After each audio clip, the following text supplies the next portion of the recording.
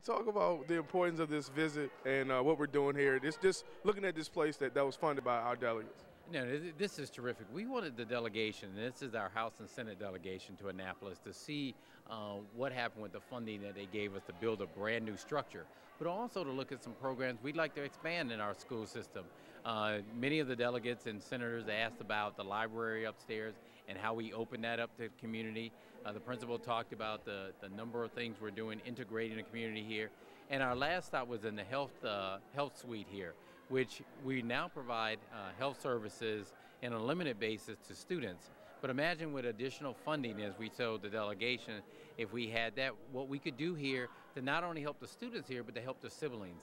And so we want the entire Prince George's House and Senate delegation to get an understanding of how much we need their help, how appreciative we are for the help they've given us, um, but how much more we could do if we had additional funding.